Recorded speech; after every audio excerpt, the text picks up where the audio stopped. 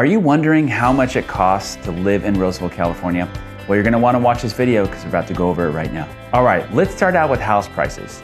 $675,000 is the average sales price right now. That fluctuates and goes up and down each month. If you'd like more details on that, check out my monthly homes for sale market update I do for Roseville, California. Property taxes in California are 1% of the sales price, but in Roseville, in the newer communities, you'll have something called Mello-Roos, which will typically be about a quarter percent higher just something to consider. Average rent in Roseville is going to range based on if you're going apartment or house, but it's going to be somewhere between two and three thousand dollars. Utilities, which is city owned, the city of Roseville utilities, is typically going to be between 180 and 425 dollars. It really depends on the size of the house and if you have solar or not. These are just a few of the things to consider when you're looking at the cost of living in Roseville, California. And this is just one piece of the ultimate guide to moving and living in Roseville, California that I put together for you.